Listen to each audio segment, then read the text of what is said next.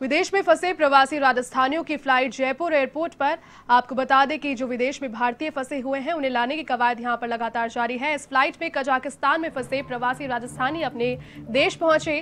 तो प्रशासन ने सभी 140 यात्रियों की सबसे पहले थर्मल स्क्रीनिंग कराई। इसके बाद मेडिकल चेकअप कर एयरपोर्ट से बसों में बैठाकर क्वारंटीन सेंटर्स उन्हें भेज दिया गया। आपको बता दें कि वंदे भारत मिशन के तहत ये दूसरी फ़्लाइट जयपुर पहुँची है।